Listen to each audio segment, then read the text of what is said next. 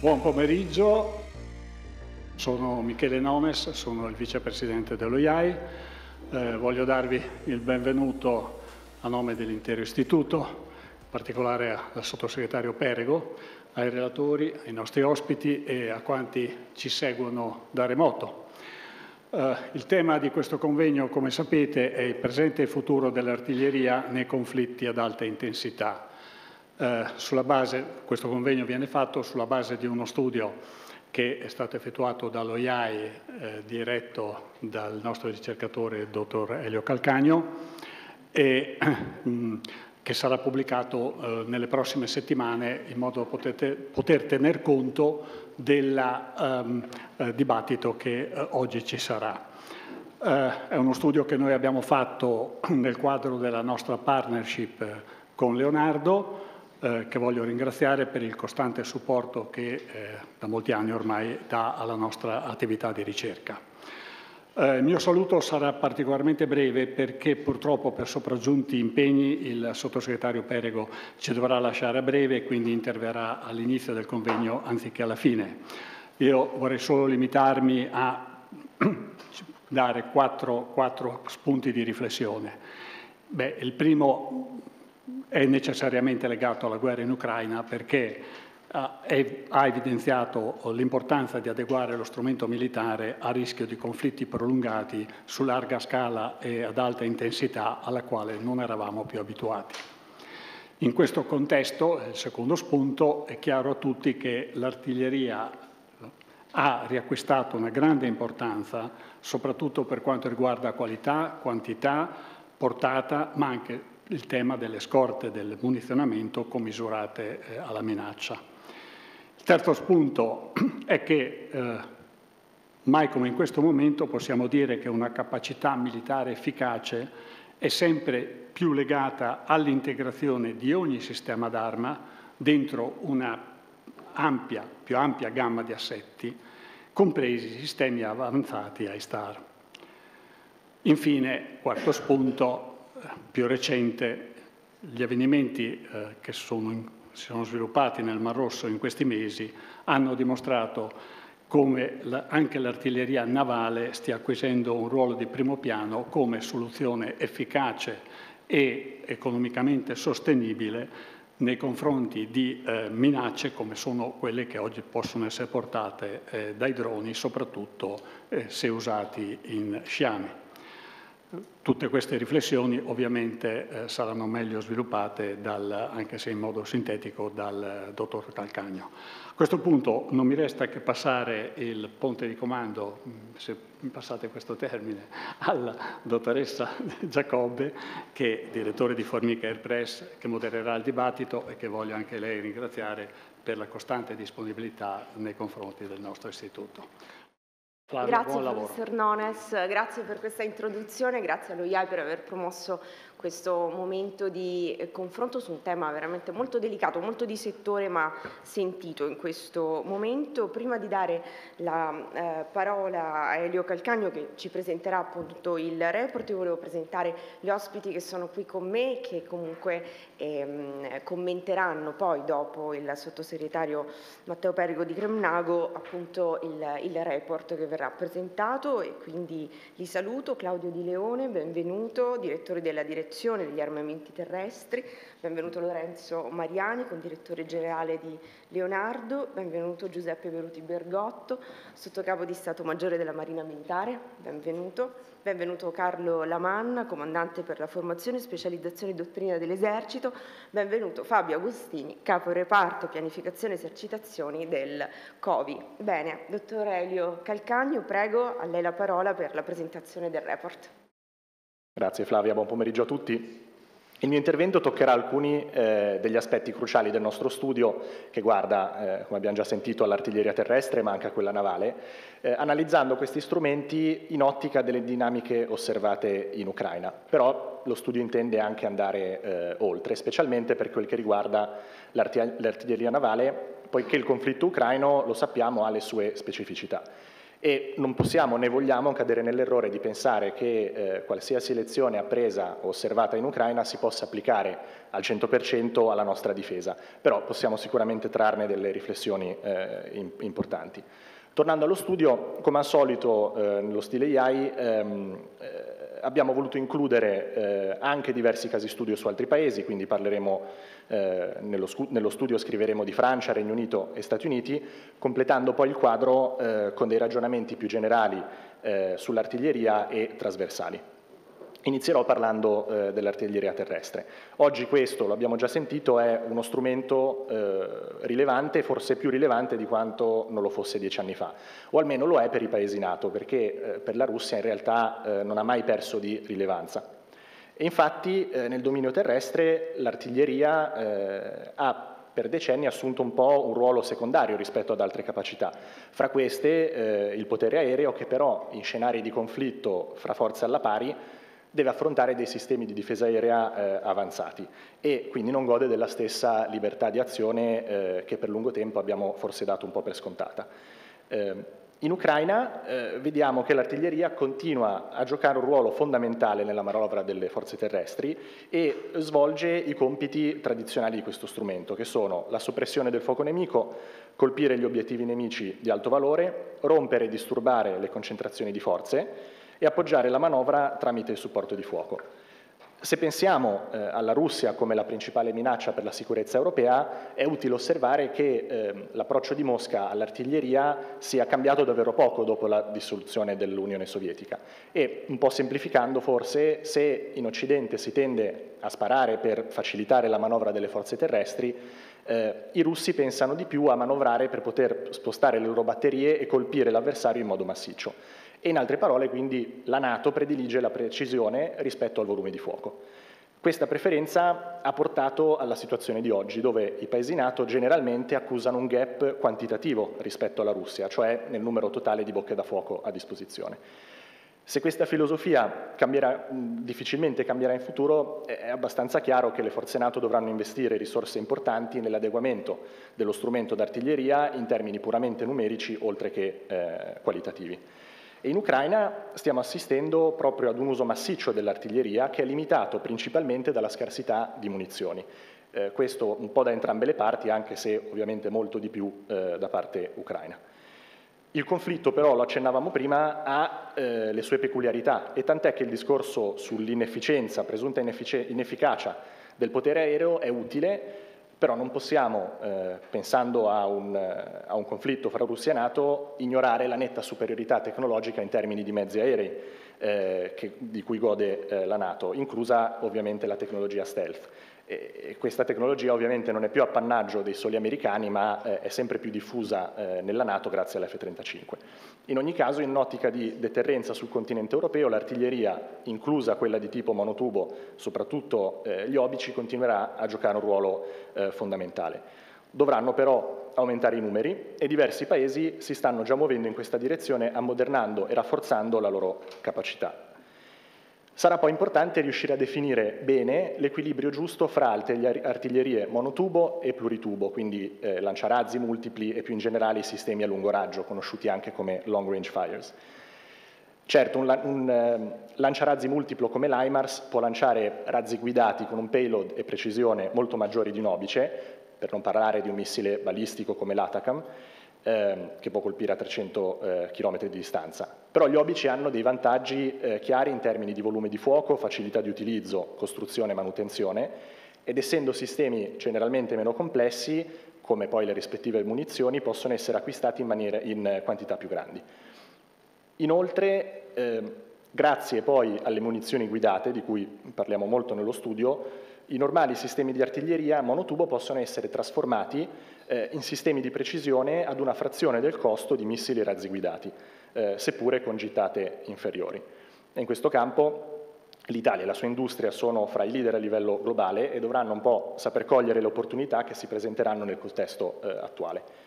In ogni caso, viste le diverse caratteristiche, eh, i long range fires insieme all'artiglieria monotubo continueranno a ricoprire eh, ruoli complementari.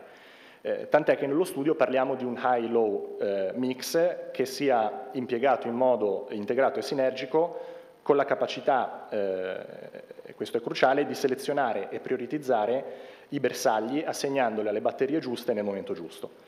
Con ogni probabilità questo mix, eh, in questo mix dovranno rientrare altre capacità, pensiamo alle loitering munitions e i droni tattici armati.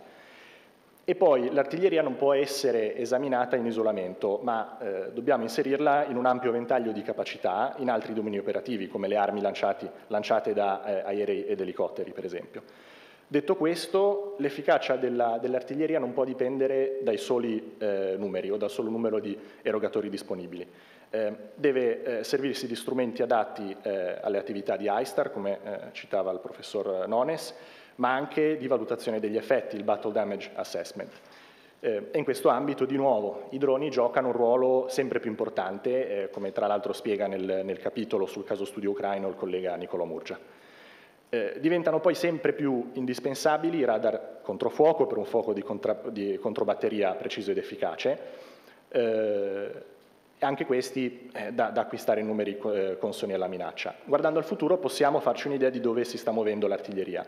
Per essere davvero efficace deve essere survivable, deve essere in grado di sopravvivere alle minacce eh, sempre più eh, numerose ed efficaci e per essere survivable deve esibire eh, le seguenti caratteristiche. La gittata, la mobilità e la precisione. E in quest'ottica, per quello che riguarda l'artiglieria monotubo, gli obici semoventi risultano essere eh, l'opzione più gettonata al momento, con un focus sempre maggiore sulla mobilità. Proprio per aumentarne la mobilità sono in corso diversi studi di fattibilità in Europa, eh, con anche un prototipo eh, in Europa già eh, capace di sparare in movimento.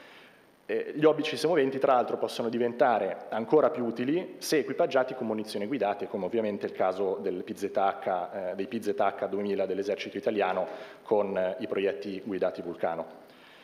Eh, l'adeguamento delle forze d'artiglieria passerà anche eh, attraverso nuove o riviste modalità di impiego e ad esempio molto importante le forze, eh, come dice l'esercito eh, stesso, devono essere dispiegate in modo diradato evitando eh, concentrazioni di batterie che ne rivelano troppo facilmente la posizione. Così eh, anche la logistica che alimenta le batterie dovrà essere distribuita e capillare. E a proposito di logistica, la guerra in Ucraina ha dimostrato quanto sia fondamentale la capacità di alimentare gli erogatori di fuoco con un flusso adeguato e sostenibile di munizioni. E questo rimane un po' una nota dolente in Europa, eh, dove il tema dell'artiglieria e del munizionamento ha eh, rivelato anche problematiche eh, relative proprio all'approvvigionamento delle materie prime come l'acciaio e i materiali esplosivi. Eh, passo eh, al dominio navale e, ehm, dove l'artiglieria svolge compiti ovviamente eh, e spesso diversi da quella terrestre, ma non è certamente meno rilevante. E eh, per questo il nostro studio dedica un capitolo proprio a questo, è scritto da eh, Eugenio Po, e eh, l'argomento è ancora più attuale ovviamente dopo gli avvenimenti del Mar Rosso, dove la Marina italiana e altre marine europee stanno abbattendo droni eh, lanciati dagli UTI proprio con l'ausilio di cannoni navali. E questa sembra essere un'ottima eh, soluzione per contrastare minacce anche relativamente rudimentali come i droni, senza però dover contare esclusivamente su missili eh, molto più costosi e disponibili in numeri limitati. E gli sforzi dell'industria e della Marina Militare, che hanno creduto molto nel ruolo dell'artiglieria navale per la difesa antimissile contraerea, eh, va detto più di altri alleati NATO, stanno ripagando, credo, eh, gli investimenti con una capacità eh, affidabile e già matura. E anche in questo campo le munizioni guidate chiaramente giocano un ruolo fondamentale e aumentano di molto la spendibilità di questo strumento eh, all'interno di una difesa a strati della nave verso minacce di diverso tipo, eh, ma anche nel supporto eh, di, di operazioni a terra. Eh, abbiamo osservato tra l'altro in Ucraina come dei droni di superficie siano stati in grado di mettere fuori combattimento diverse navi da guerra russe che non sono stati in grado di fermarli anche dopo averli eh, individuati perché eh, non avevano o non sapevano usare gli strumenti adatti. E l'artiglieria navale potrebbe essere parte proprio di una soluzione sostenibile a questo tipo di, a questo tipo di minaccia. In generale risulta evidente che l'artiglieria disponibile in diversi calibri rimane cruciale proprio per l'autodifesa eh, delle navi. E in questo campo l'Italia è assolutamente leader, eh, una dei leader mondiali e l'artiglieria navale italiana è comprata da marine di tutto il mondo. Quindi anche in questo caso sarà necessario continuare a sviluppare le nostre capacità costruire stock di munizioni adeguati in modo sostenibile nel lungo termine. Grazie. Bene. Grazie Elio Calcagno per um, la, la, presentazione del report. Uh, una, uno scenario perfetto con la situazione attuale, ecco, l'auspicio per il futuro, gli scenari operativi e ecco la, la, situazione un po' italiana. Prima di avere il piacere di commentare questo report con gli ospiti che sono qui, abbiamo il privilegio di avere l'autorità politica che lo commenterà per noi eh, all'inizio, subito, quindi Matteo Perego di Pregnago, prego a lei la parola per eh, un commento sul report dello IAI.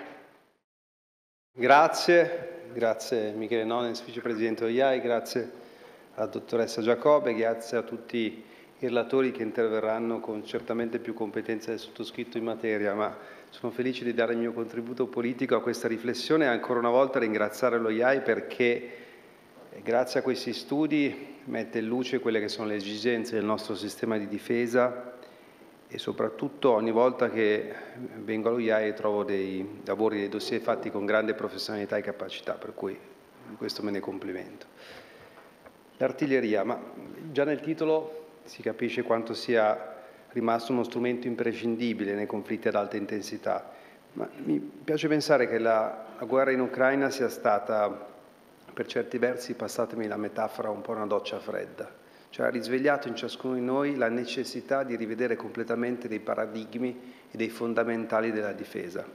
Significa immaginare una pianificazione di scorte con maggiore profondità e quindi significa lavorare, e mi giro verso l'industria, con capacità di produrre in tempi significativamente ridotti e avere una resilienza nazionale perché nel momento in cui dobbiamo approvvigionarci di scorte, di munizioni, sul mercato scontiamo le esigenze del singolo paese che produce queste munizioni, che, per cui l'Italia ad esempio viene in coda rispetto alle esigenze nazionali. Per cui cosa ci ha insegnato l'Ucraina? Ci ha insegnato sicuramente dal punto di vista dell'artiglieria quanto sia uno strumento fondamentale, quanto avere delle scorte in profondità sia importante, però come quanto anche questo conflitto si giochi su una dimensione multidominio, quindi noi dobbiamo oggi con delle esigenze finanziarie che sicuramente devono crescere e sono cresciute rispetto al passato. Se pensiamo che viaggiamo ancora all'1,58% del PIL sulla difesa, rispetto al traguardo del 2% siamo ancora lontani. Io ho pienamente condiviso e condivido la battaglia del nostro Ministro della Difesa, l'onorevole Crosetto, sull'esclusione del patto di stabilità delle spese della difesa. Questo credo che sia una battaglia sacrosanta. Altrimenti faccio fatica a pensare come potremo da una parte alimentare l'artiglieria intesa come munizione scorte e sistemi. Dall'altra parte soddisfare le esigenze nel dominio cyber, l'underwater, il dominio cognitivo, la space economy, il dominio spaziale inteso come dominio operativo. Se penso all'esercito, l'MGCS, l'AIX, quindi l'infantry e i carri corazzati, quindi un investimento che soltanto per queste due componenti supera i 10 miliardi allora significa guardare intanto con la capacità di pianificare in tempi molto più brevi. Noi siamo abituati a ragionare in un'ottica di sistemi che hanno una, da una programmazione a un'esecuzione, a un'attuazione una decina d'anni. Oggi tutto è molto più veloce. Abbiamo parlato prima della componente artiglieria e in particolare della capacità che abbiamo industriali, se penso alle munizioni di Davide e Vulcano, le munizioni guidate, da impiegare contro i droni. Eh, proprio oggi mi sembra il Ministro Crosetto ha citato quanto la minaccia UTI sia diventata ormai molto più eh, dire, pericolosa e più rappresentativa di quanto siamo di fronte a un concetto di guerra ibrida, lo ripetiamo spesso, quindi la capacità attraverso sistemi anche a basso costo come alcuni droni Shahed impiegati dagli utili di fabbricazione iraniana possa paralizzare l'economia di un paese come il nostro, limitare gli accessi al canale di Suez eh, che sono diminuiti del 17%, quindi avere impatti sulla nostra economia. Quando si parla di droni, quindi anche di artiglieria da impiegare nel contrastare i droni, si parla di un mondo che cresce a una velocità siderale rispetto al passato.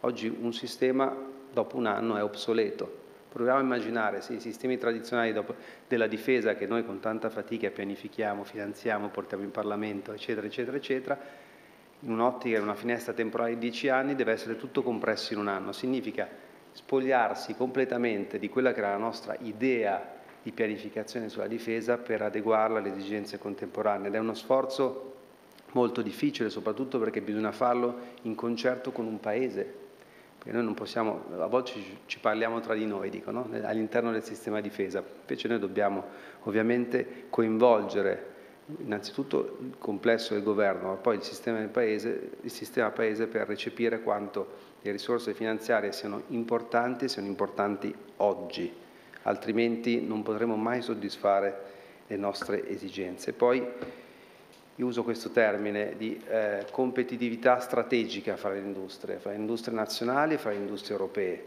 Eh, sapete che il dibattito sulla difesa europea ha animato molto le elezioni elettorali che si sono appena concluse, ma eh, e tutti diciamo non è più rinviabile un concetto di difesa europea. Diciamo anche che ci riempiamo un, un po' troppo spesso la bocca delle parole difesa europea, ma dov'è la sostanza di questo discorso? Dove si deve arrivare?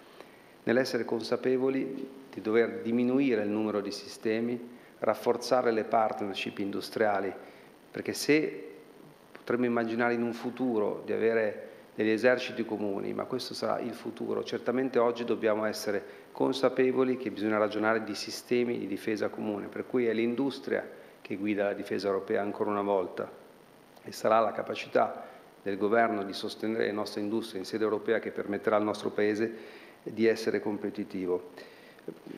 Voglio citare una frase che ho utilizzato anche in un altro convegno che secondo me rappresenta molto bene metaforicamente l'epoca in cui viviamo. Tempi difficili creano uomini forti, gli uomini forti creano tempi facili, i tempi facili creano uomini deboli, gli uomini deboli creano tempi difficili. Lascio a voi interpretare in quale fase storica stiamo vivendo. Credo che sicuramente stiamo vivendo un'epoca difficile, quindi non so se è per colpa di chi era prima di noi, però spetta, spetta a noi in questo momento traguardare, traguardare gli obiettivi molto importanti, non dimenticando nulla. L'Ucraina vede un conflitto che dalla, dalle trincee del primo Novecento, passa per la dimensione cyber, lo spazio, lo spazio nella dimensione privata, se pensiamo ad attori come Starlink, come Elon Musk.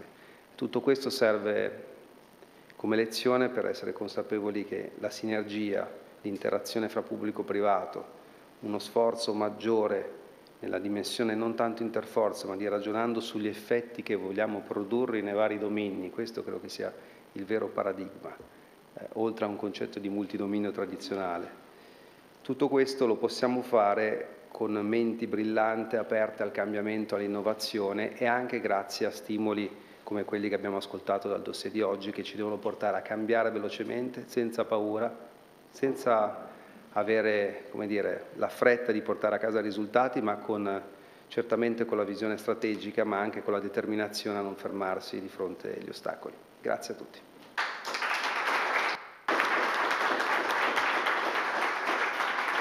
Grazie, grazie sottosegretario per il suo intervento, un intervento naturalmente di eh, scenario che adesso ci ha preparato il terreno invece per andare a parlare nei particolari del, eh, dell'artiglieria a lunga gittata, lo faremo intanto con l'ammiraglio Berutti Bergotto, partiamo dall'impiego militare della, della, Marina, ecco qual è la visione della Marina Militare sull'utilizzo dell'artiglieria nelle operazioni navali, abbiamo visto, ce l'ha ehm, anticipato Elio Calcagno, l'ha nominato anche il professor Nones, anche il sottosegretario l'impiego nel Mar Rosso, che comunque è stato evidente, è stato molto importante in uso diciamo antidroni, eccetera, insomma, ehm, contro, e poi anche in, nel, nel, Mar Nero invece da parte del, degli ucraini contro la, la, la Marina russa. Prego. Grazie. Eh, buonasera signor sottosegretario, colleghi. Io volevo eh, subito dire alcune cose. La prima è che ne, negli anni passati c'è stata una tendenza da parte di molte marine di preferire per le navi maggiori i sistemi missilistici. E molte marine hanno deciso di, di mettere da parte il sistema artiglieresco nelle navi maggiori e e andare tutte su una difesa missilistica. E noi siamo convinti che anche nel futuro eh, l'artiglieria deve essere a bordo delle navi, questo perché permette quell'integrazione di sistema d'arma che aveva accennato proprio il professor Calcagno e, e ci permette di avere una strategia di stratificazione di impiego, sistema missilistico a lungo portata, a corto raggio un sistema artiglieresco. Noi continuiamo su questa strada, questo ci permette di avere una difesa stratificata in questo senso, ci permette di avere costo efficacia perché come aveva accennato il sottosegretario un drone grasso che colla costa 20.000 euro e un missile costa 3.2 milioni, quindi e, e, con con un proiettile dell'artiglieria riusciamo a mantenere basso il costo efficacia. Ridondanza, ovviamente abbiamo la doppia possibilità di impiego missilistico, se non va bene, di impiego che è successo, poi, poi vi dirò quello che è successo in Mar Rosso. E possiamo utilizzare l'artiglieria per dissuasione, quando dobbiamo fare il warning, non è detto che il primo colpo deve colpire la nave, un warning shot può servire soprattutto per quelle attività di, di, di situazioni delicate. E un colpo d'artiglieria non è facilmente eh, prendibile ai radar, è difficile scoprirlo, quindi arriva quasi di nascosto, specialmente se utilizziamo le artiglierie con il munizionamento guidato Vulcano che puoi sparare a 80 km. E l'attuale munizionamento è molto preciso, non solo perché i, i, colpi sono guidati, ma anche perché i sistemi che li guidano e che li conducono sono molto più precisi del passato e infine la possibilità di approvvigionare rapidamente il colpo e anche il trasferimento da una nave all'altro è molto più rapido. Ora io volevo fare eh, due, due, lezioni, apprendimento guerra di Ucraina e apprendimento quello che sta successo nel Mar Rosso. Allora se, se avete visto eh, le navi anche maggiori della Federazione Russa sono state quasi tutte affondate da dei mezzi eh, devo dire molto rudimentali all'inizio, ora stanno diventando sempre un po' più sofisticati, che sono dei motoscafi bassi, difficilmente da scoprire, difficilmente da agganciare. Infatti tutti i filmati che ci sono anche in internet fanno vedere che, che, che vengono sparati tantissimi colpi, invece questi mezzi con dei rapidi movimenti riescono a superare e a colpire. Allora, eh, per ingaggiare quei mezzi ci servono dei sistemi che siano in grado di cambiare rapidamente la rotta del, del proiettile. Se io usa, uso l'artiglieria normale, quella lì spara sul punto futuro, moto rettilineo uniforme, che non sono quelli che fanno questi, messa, questi bersagli perché sono molti marrovieri. In quel caso un munizionamento guidato tipo Davide è, è, quello adatto perché ti permette di, di variare la, la, rotta del proiettile in volo, quindi quello in quella situazione è, è la migliore soluzione. L'ultima situazione è il fuoco di sbarramento, però quello lì è, è, è veramente l'ultima spiaggia. Noi lo utilizzeremo sotto gli 800 metri perché il munizionamento guadato funziona solo dagli 800 metri in poi. E, e quindi L'unico modo per cercare di abbattere un bersaglio del genere è l'artiglieria, perché un missile a quella distanza, a quella velocità, a quella quota difficilmente riesce a colpire. Noi abbiamo avuto l'esempio eh, nel Mar Rosso quando abbiamo lanciato un Aster contro un drone che, che volava veramente basso e si è infilato in acqua perché a quel punto anche la testa del, del missile difficilmente riesce a distinguere a que, un metro, stiamo parlando di 50 centimetri, riesce a distinguere qual è il bersaglio dove è l'acqua. Quindi il munizionamento guidato in quell'occasione è, è, il migliore che possa essere impiegato. Per quanto riguarda eh, i droni, i, quelli aerei, l'esperienza che abbiamo vissuto nel Mar Rosso essendo dei bersagli lenti, massimo 170, km, eh, 170 nodi, essendo dei, eh, dei, bersagli anche abbastanza manovrieri, l'esperienza ci ha fatto capire che un colpo da 76, ancorché non guidato ma con delle spolette di professionalità, riesce a, a colpire il bersaglio. I nostri sistemi di artiglieria hanno una modalità che, che permette di si chiama scortometria automatica, vede la distanza tra il proietto e il bersaglio e nel successivo colpo la aggiusta. Questa qui entra in, in funzione dal diciamo dal decimo colpo in poi. Quindi se uno spara una raffica di 10 colpi difficilmente viene il, risultato. Può succedere che uno è fortunato come noi in un caso che abbiamo abbattuto un drone molto basso a circa 3000 metri con una raffica di setti al settimo colpo il drone è caduto. Negli altri due casi, perché sono stati abbattuti tre droni con i cannoni, negli altri due casi abbiamo dovuto sparare delle raffiche di 20 colpi per abbattere il drone. Però pensate che in altre situazioni abbiamo abbattuto il drone un po' più distante, 10, 10 km, con un Aster 30 3.2, in questo caso l'abbiamo abbattuto con 20 colpi, ma, ma meno di, di 30.000 euro quindi pertanto cominciamo già a avvicinarsi. Pertanto eh, quello che noi vogliamo continuare a fare è mantenere l'utilizzo delle artiglierie sulle nostre navi, andare sul munizionamento guidato ma tenere anche il munizionamento di prossimità perché il munizionamento di prossimità ti permette di contrastare dei bersagli un po' più lenti e quindi di, di risparmiare alla fine dei, dei fondi. E mantenere eh, l'artiglieria da 127 che, che attualmente è l'unica che ci permette una reazione contro bersagli terrestri e contro bersagli di superficie che, che, si muovono un po' più a lento moto e non eh, con delle manovre rapide e veloci. E il munizionamento Vulcano l'abbiamo utilizzato nella fase di collaudo e ha dato sicuramente degli ottimi risultati, tenendo conto che il munizionamento nella fase finale può essere guidato o da GPS, però sai, il GPS viene inserito alla fase di, di partenza del colpo, pertanto è utilizzabile contro un bersaglio terrestre fisso, oppure con una guida infrarosso nella fase finale che può essere utilizzato in un bersaglio navale che si muove non a velocità elevate.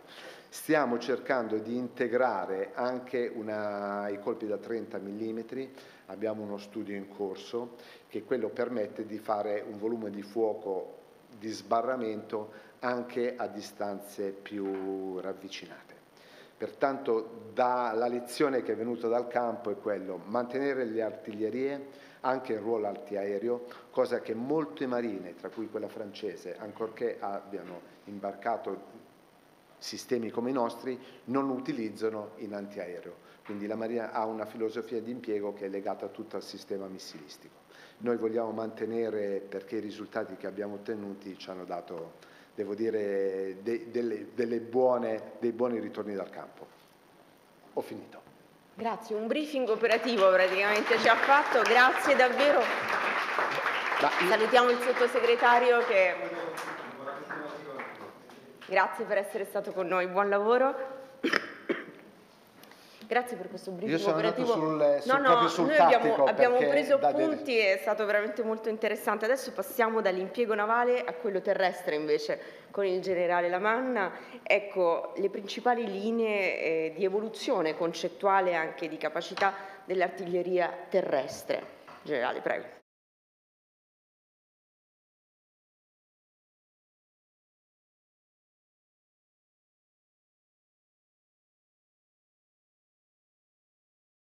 Buon pomeriggio.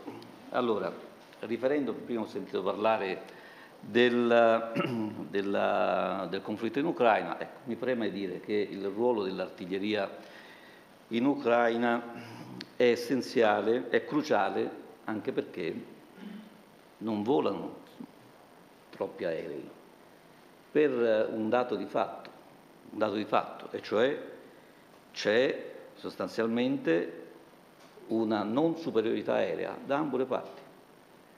E quindi in, queste, in questo scenario l'artiglieria assume un ruolo fondamentale. Ci sono ragioni evidenti, fattuali, che rivelano come sia importante il ruolo dell'artiglieria in, in Ucraina. Sorvolo, qualcosa è stato già detto, poi magari ci ritorno.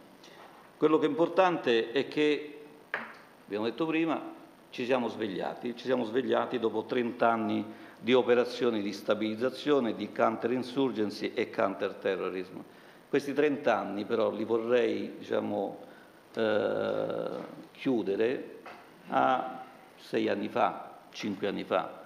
Ringrazio anche per la presenza del generale eh, Serino che fin dal suo insediamento ha proprio riferito dell'importanza dell'artiglieria negli scenari moderni. E, ricordo anche che al termine del suo mandato è stato eh, costituito un, un, altro reggimento di artiglieria, che è appunto il terzo Bondone, che sostanzialmente costituisce eh, diciamo, l'occhio del, dell'artiglieria, soprattutto alle eh, lunghe distanze.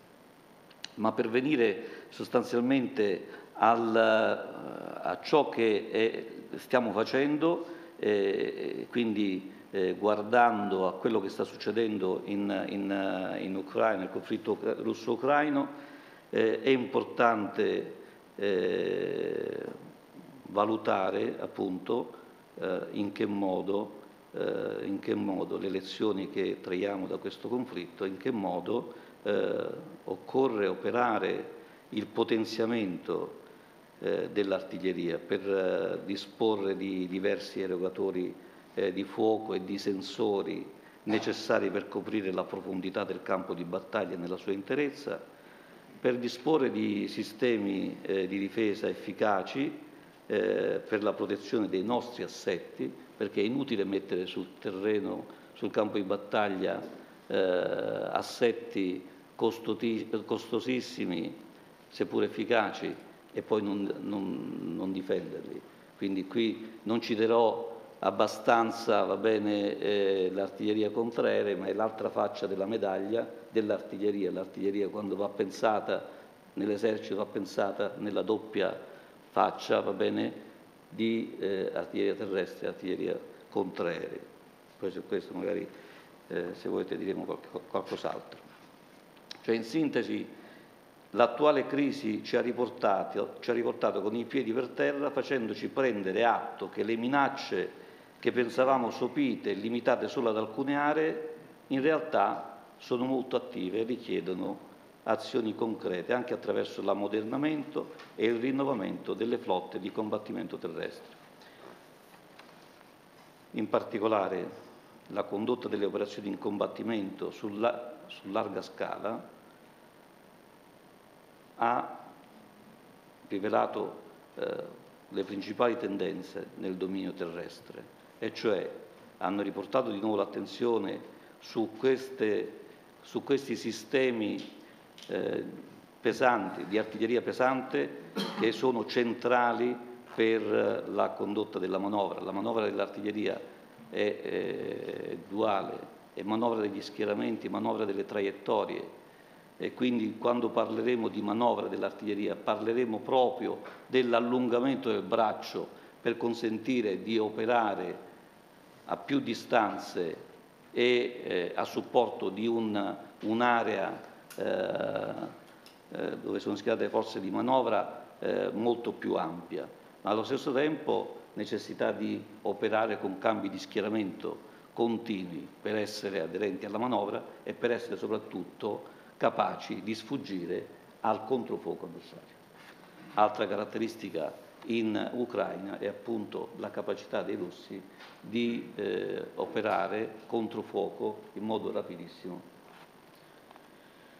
Analizzando quindi soprattutto quello che sta succedendo in Ucraina, in Ucraina eh, si evidenzia che oggi la manovra terrestre necessita di essere sempre più sopportata e agevolata dal fuoco di artiglieria, l'impiego dei nuovi sistemi a lungo raggio integrati con i sistemi di sorveglianza e, eh, del campo di battaglia, che assicura eh, un fuoco sempre più rapido, efficace e sicuro.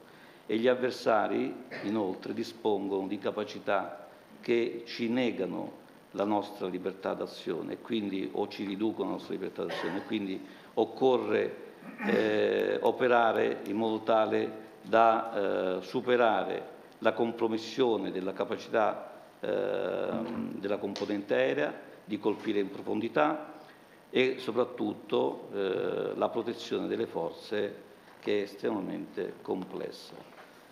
Per quanto attiene alla pianificazione e impiego del fuoco, ricordo che innanzitutto eh, questo è un aspetto della, della, della, insomma, attiene all'assetto capacitivo per cui stiamo operando eh, e cioè quello di far fronte ad ambiziosi obiettivi di capacità eh, che eh, NATO, dalla Nato all'Italia sono stati eh, assegnati, eh, secondo i quali l'artiglieria terrestre dovrà svilupparsi e tendere al raggiungimento delle capacità di erogare fuoco con efficacia a distanze sempre crescenti ehm, e soprattutto secondo logiche di manovra dispersa e diradata a supporto delle operazioni terrestri, eh, al fine di garantire una capacità di deterrenza reale, credibile e percepibile da tutti.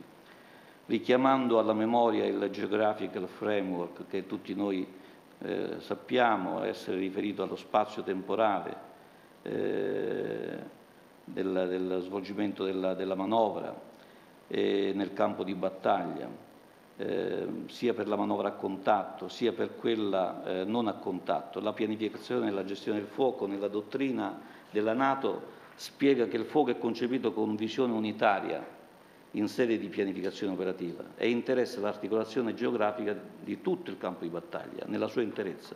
Quindi si estrinseca nella forma joint e appunto prevede l'erogazione del fuoco da parte di sistemi eh, navali, aerei, terrestri.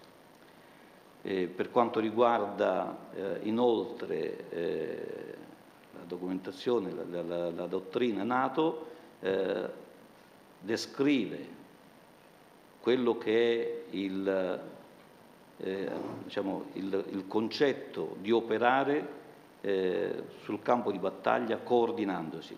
E quindi il Fire Support Coordination è soprattutto il modo più efficace, più efficiente, più idoneo a evitare anche il fuoco fratricida e nell'operare nella Deep Close and Rear eh, Battle è importante il rispetto delle linee di coordinamento. Linee di coordinamento del fuoco che non sono statiche, sono dinamiche, quindi anche questo è un altro concetto in cui eh, dobbiamo immedesimarci. Per quanto riguarda le operazioni in profondità, è qui il vero cambio di paradigma che l'esercito da qualche anno, soprattutto eh, nel, nel, nell'ultimo anno, ha cominciato a, eh, eh, a operare, e cioè l'artiglieria non è più soltanto l'arma di supporto alla manovra, è anch'essa arma di manovra, è l'arma principale per le operazioni in profondità. E questo concetto l'esercito lo ha maturato anche guardando a ciò che avviene nei, nei conflitti citati, soprattutto L'artiglieria è responsabile dell'erogazione del fuoco indiretto nella manovra non a contatto al fine di ingaggiare e distruggere le forze avversarie fino alle massime distanze, generando effetti nella dimensione fisica, cognitiva e morale, oltre chiaramente ad essere principale supporto del fuoco forza, nel, delle forze nella manovra a contatto che è la funzione classica, la funzione di combat support. Ecco, eh, la cosa che eh, mi preme, eh, sempre a livello concettuale, eh, esprimere è che, è che, le parole del Capo di Stato Maggiore dell'Esercito recentemente, eh, che riguardano sostanzialmente lo sviluppo dell'artiglieria, dice eh, dovrà eh, dovrà essere incentrato questo, questo sviluppo sulla eh, trilogia valori, addestramento e tecnologia. Sui valori ci sarebbe tanto da dire, ma non mi, non mi dilungo. Sull'addestramento vorrei dire, eh, è, è, un aspetto che, che forse non tocca eh, tanto a, a, chi non è immerso come artigliere nell'addestramento. Oggi mancano i poligoni dove poter fare addestramento e siamo e dobbiamo sempre di più ricorrere a poligoni fuori dal territorio nazionale per poter solo saggiare una parte bene, delle, delle peculiarità, delle possibilità di impiego dei nostri sistemi. Guardate che quando abbiamo negli ultimi anni fatto esercitazioni in, in, in alcuni paesi eh, prossimi all'equatore, eh, ci siamo anche cimentati nel confrontarci, anche confrontarci con problemi tecnici, problemi tecnici, la rotazione terrestre che a, a certe distanze eh, incide e come non può essere trascurata va bene? Riportata sulle tavole di tiro, ma per certe distanze, eh, le distanze piccole a cui normalmente siamo abituati a sparare, va bene per addestrarci, non sono questi dati eh, tenuti in considerazione. Cosa diversa è quando ci si cimenta in questi più ampi scenari. Arrivando sostanzialmente al sistema di artiglieria così come l'esercito lo concepisce adesso e in futuro.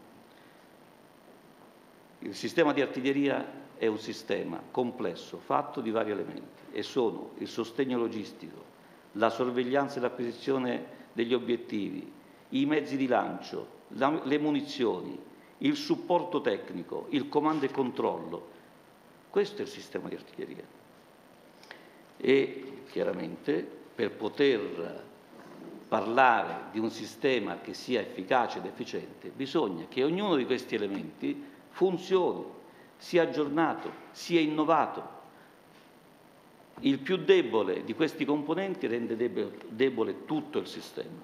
E quindi l'aspetto su cui vorrei innanzitutto richiamare eh, l'attenzione dei miei artiglieri, degli artiglieri e dell'esercito è che bisogna curare tutti gli aspetti, non sono soltanto i sistemi erogatori del fuoco, la cui gittata può in qualche modo migliorare o peggiorare la performance specifica, ma se questo sistema non, non, è, eh, non ci addestriamo a utilizzarlo e a utilizzarlo nelle varie situazioni, se questo sistema soprattutto non ha le munizioni e non ha munizioni diversificate per scopi, per, per necessità, eh, se il sistema eh, non è supportato da rifornimenti di munizioni, di mezzi di rifornimento adeguati, se il sistema artiglieria non è supportato da, eh, da una logistica dei, dei materiali dei mezzi, ecco, il sistema non funziona. E concludendo, volevo citare quello che secondo me è l'aspetto su cui eh, ci dobbiamo più impegnare, il sistema di comando e controllo il sistema che ci consente di integrare tutte queste parti, tutte queste componenti e poter far funzionare in modo efficace, integrato, il, la, eh, il sistema artiglieria. Eh, eh, la componente artiglieria eh, è davvero eh, essenziale, va potenziata, siamo sulla strada eh, giusta, partendo dall'addestramento e dalla formazione del personale e arrivando sostanzialmente all'approvvigionamento eh, di mezzi sempre più innovativi, noi riusciremo a eh, superare questo gap che in questo momento vediamo molto ampio nel, nella, proprio nella componente artiglieria. Bene, grazie Generale eh, per il suo intervento. Mi dispiace che sia andato via il sottosegretario perché la parte comunque del tema dell'addestramento dei poligoni stranieri è un tema che sentiamo molto nel nostro paese ed era importante che ci fosse l'autorità politica, ma glielo diremo. E, sull'impiego in Ucraina ci tengo a precisare, sono tutti addetti ai lavori, però è importante che questo tema emerga, come l'ha rilevato anche Elio Calcagno prima, il caso ucraino è un caso molto peculiare perché diciamo, in teatri in cui ci sono degli impieghi con paesi NATO c'è un potere aereo sicuramente molto sviluppato e lì invece non c'è, quindi c'è un'esigenza di artiglieria molto più forte che in altri eh, scenari.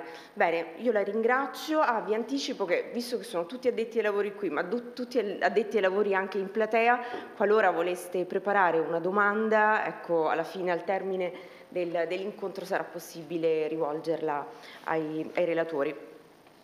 Abbiamo parlato della parte navale, della parte terrestre, adesso eh, la parte invece del multidominio, cioè l'approccio eh, multidominio, la parte del, del COVI.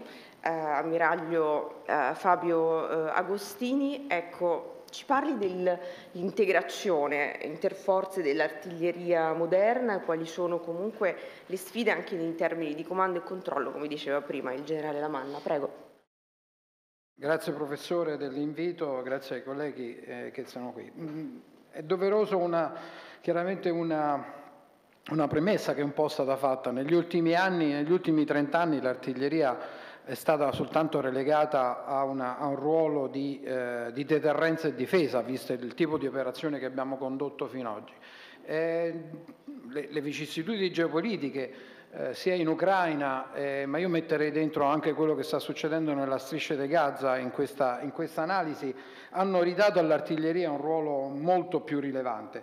Ehm, è chiaro che sia l'artiglieria un po' riflette quella che è l'evoluzione del panorama dei conflitti che risentono chiaramente di tutta un'evoluzione dal punto di vista tecnologico, abbiamo visto i sistemi di guida inerziale, eh, i sistemi di pilotaggio remoto, l'evoluzione dei sistemi informativi, AESTAR, l'utilizzo di munizioni intelligenti e di piattaforme autonome e soprattutto eh, lo sviluppo della dimensione spaziale e cibernetica che chiaramente adesso cercherò anche un pochino di analizzare. Se ne è già parlato molto, eh, non me ne voglia eh, il generale Candotti, però purtroppo la superiorità aerea adesso non è più così facile da ottenere, soprattutto quando dall'altra parte, dall'altra parte, dall'altra parte ci sono delle, delle forze eh, fondamentalmente di, di, di, di, pari livello e quindi eh, il, il, come già detto non è sempre possibile garantire una superiorità aerea e, e i sistemi antiaerei moderni eh, a questo eh, ce lo impediscono.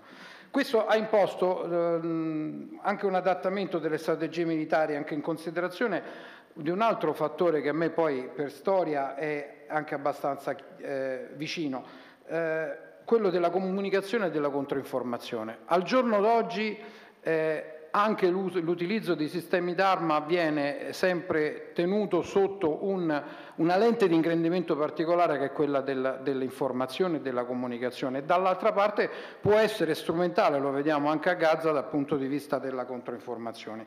E ne parlavamo appunto di Ucraina e Gaza perché tutti e due questi teatri ci hanno dato una vasta gamma di lezioni apprese, in particolare in, in, diciamo che in in entrambi i casi, eh, a Gaza soprattutto da una parte, possiamo dire che l'insegnamento principale è che al, nelle guerre moderne non è più possibile pensare all'impiego monocomponente dell'artiglieria, ma va visto in una forma molto più integrata, molto più sinergica e decisamente una formula che comprenda tutti e cinque i domini, non soltanto quello terrestre, aereo e, eh, e marittimo, ma necessariamente anche quello spaziale e quello cibernetico. Delle varie considerazioni sui, eh, sul, sul, sulla guerra russo-ucraina abbiamo già, è già stato detto molto, eh, eh, va accennato appunto che la Russia sta utilizzando, ha utilizzato anche ampiamente i sistemi missilistici dal, dal Mar Nero per battere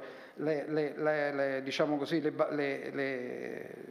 le postazioni del, dell'Ucraina, mentre l'Ucraina cercando di eh, di, di, di, una maggiore precisione per evitare danni collaterali ha usato delle tecniche asimmetriche, ma lo scopo era comunque di colpire in profondità, colpire le linee di comunicazione, colpire i centri di controllo dell'avversario. Adesso vedremo anche il perché. E in entrambi i casi i droni hanno costituito una, uh, un elemento fondamentale sia dal punto di vista della sorveglianza, del riconoscimento, della precisione del tiro, ma anche eh, come, come, vettore d'arma, l'abbiamo visto in moltissimi casi. Dal, da, da, segnalare, è stato già accennato dal dottor Calcagno, l'importanza, un elemento fondamentale per la pianificazione, ma anche per il comando e controllo, è l'enorme dispendio di, di, munizioni che c'è stato. Eh, se ricordiamo all'inizio del conflitto, fino diciamo, alla metà del 2022, i russi sparavano qualcosa come 60.000 colpi di artiglieria al giorno. E per forza di cose, ad, ad, oggi siamo intorno ai 12.000, 10-12.000 colpi di, di di, eh, di, artiglieria al giorno, questo dovuto al fatto che eh, le scorte si sono esaurite, anche con l'aiuto di alcuni paesi amici non sono state sufficienti per, per ripianarle e, e la Russia sta parlando di, un, uh, di, una, di, un'economia che gli permetterà di arrivare a 2 milioni di colpi l'anno nel 2026, ma ancora sono dati ancora lontani da arrivare. Questo a fronte dei 2.000 colpi l'anno che, stanno, uh, che sta uh, utilizzando la, la, l'Ucraina. Quindi questi sono fattori che vanno considerati nella, nella nostra, ehm, nella nostra pianificazione. Eh, pianificazione quindi in cui l'artiglieria, come diceva giustamente il generale Manna, necessita di essere considerata con nuovi paradigmi, non più come un mezzo, eh, un sistema, una capacità da, eh, da utilizzare soltanto tra le forze a contatto, ma una capacità che deve arrivare fino in fondo, fino alla parte più arretrata eh, del, delle forze nemiche su tutta l'area di operazione. E, e, in, in, considerando non solo l'artiglieria, ma la necessità di agire a livello multidominio, vediamo che l'area di operazione, e quindi una maggiore difficoltà di pianificazione, l'area di operazione diventa molto più sfumata se consideriamo anche l'esigenza di considerare la, la, l'ambiente spazio e l'ambiente eh, cibernetico. Eh, quello che si deve ten, ten, tentare di fare dal punto di vista pianificazione è cercare di andare a intercettare le linee di comunicazione del nemico, le, le linee logistiche, le linee di ehm, comando e controllo già in profondità per evitare che questi possano produrre degli effetti tangibili o importanti sul, sulla linea del fronte. Eh, questa, questo ampliamento dell'area d'operazione, questo questa complessità eh, cresciuta della, del, dell'area eh, de, de, diciamo di dove, dove, eh, dove, è necessario produrre degli effetti impone una maggiore, necess- una maggiore, capacità di sincronizzazione, di coordinamento attraverso tutti i livelli, da quello strategico a quello operativo a quello, a quello tattico. Quindi Prima di tutto abbiamo detto, lo ribadisco, la pianificazione operativa deve diventare sempre di più multi, eh, multilivello e, e, e, considerare tutte le capacità che abbiamo a disposizione, terra, mare, aria, spazio e cyber. E chiaramente questo, e passo alla seconda parte diciamo, della risposta, eh, questo impone anche delle, delle sfide al comando e controllo delle forze. Prima di tutto la sfida dell'interoperabilità.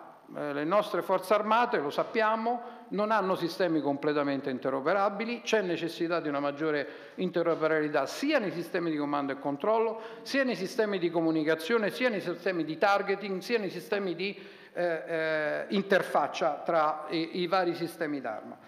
È necessario, lo diceva prima generale Manna, stabilire dei canali di comunicazione sicuri eh, per una maggiore coordinazione, per ottenere la maggiore coordinazione possibile.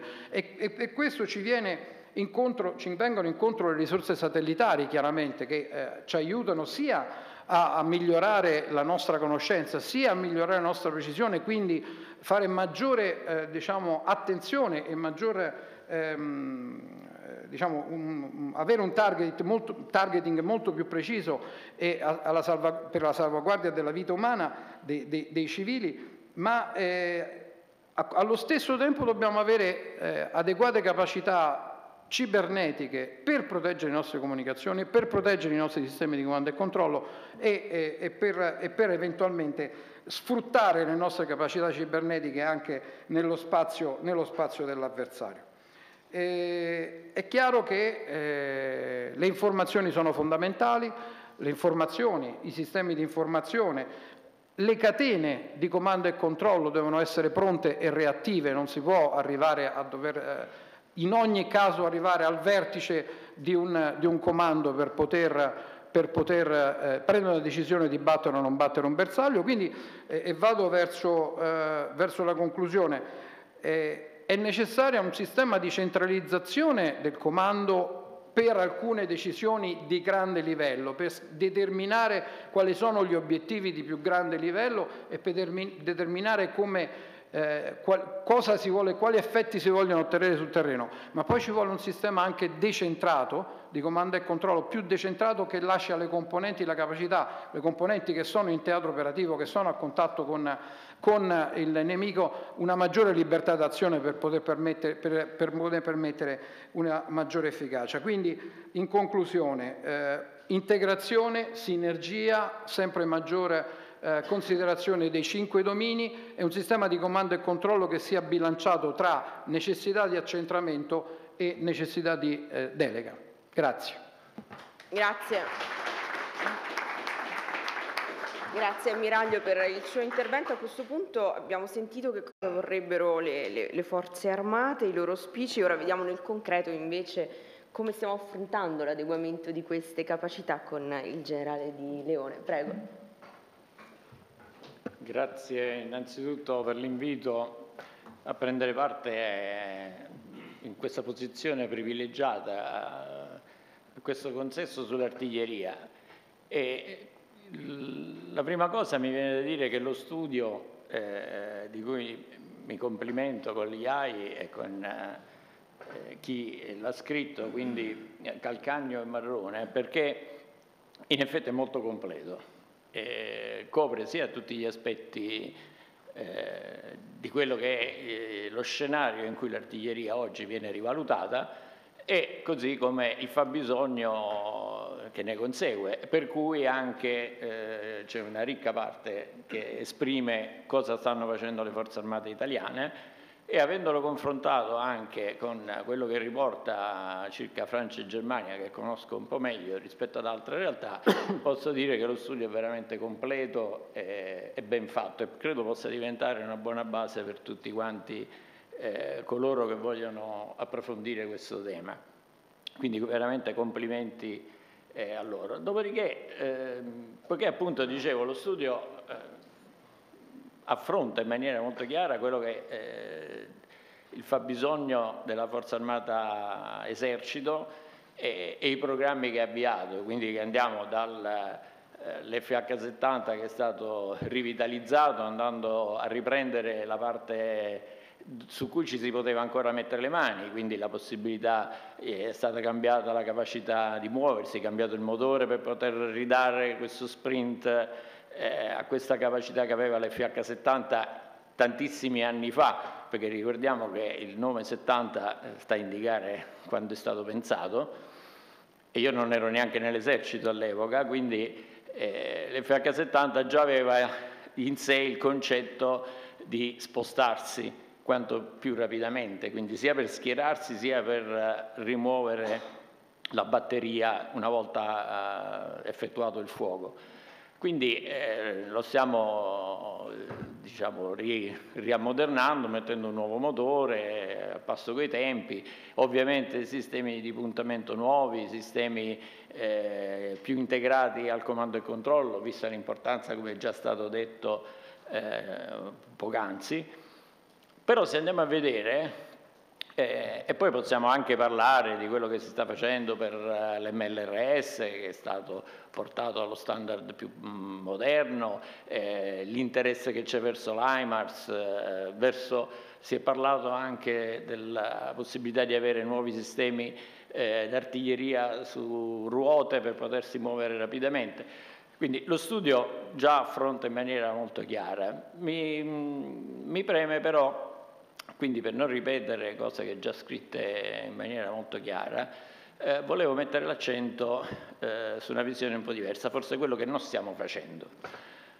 Perché eh, l'artiglieria, a mio avviso, non l'abbiamo abbandonata in tempi recenti, l'abbiamo abbandonata molto tempo prima. Se noi pensiamo che nel secolo Novecento, all'inizio, e per tanti anni, fino a quasi la metà del Novecento, tutti quelli che progettavano artiglierie e munizioni si basavano su Siacci, che era un italiano, su eh, Burzio, Filippo Burzio, Cavalli, cioè erano tutti matematici, studiosi che eh, con metodi di allora avevano sviluppato quella che è l'artiglieria, quella che è stata l'artiglieria per anni. Burzio aveva addirittura già dimostrato tantissimi anni prima dell'FH-70, che una munizione più allungata, quella che poi è diventata l'L-15, era più stabile in volo. Quindi noi italiani eravamo dei leader del settore, tanto da arrivare a un generale del servizio tecnico di artiglieria di cui io ancora mi fregio in maniera indecorosa del simbolo, che sarebbe vietato, lo dico pure avendo un ex capo di Stato Maggiore dell'esercito qui in sala, ma io questo lo porto orgogliosamente come molti altri di noi. Un paio di deroghe sono concesse dal regolamento. Esatto, quindi eh, perché questo? Perché eh, da anni io diciamo, sono nato con un, un indirizzo nel settore dell'artiglieria e non mi sono mai voluto staccare da questo, quindi proprio perché un giorno arrivò il calcolo numerico e quindi il metodo di Siacci, i metodi di Burz, tutti quei metodi per calcolare le traiettorie a mano sono stati sostituiti dal calcolatore. Calcolatore che in Italia, pur essendo stati comunque anche in quel settore dei leader, però poi ci siamo lasciati sopraffare dagli americani. Quindi il calcolo numerico di fatto ha ucciso la nostra artiglieria, cioè il nostro interesse come nazione a sviluppare quel tipo di di scienza o, di tecnologia e siamo diventati dei seguaci di quello che facevano gli altri. Quindi eh, quando abbiamo fatto l'FH70 la parte munizione, quindi la parte veramente della balistica esterna l'hanno sviluppata gli inglesi.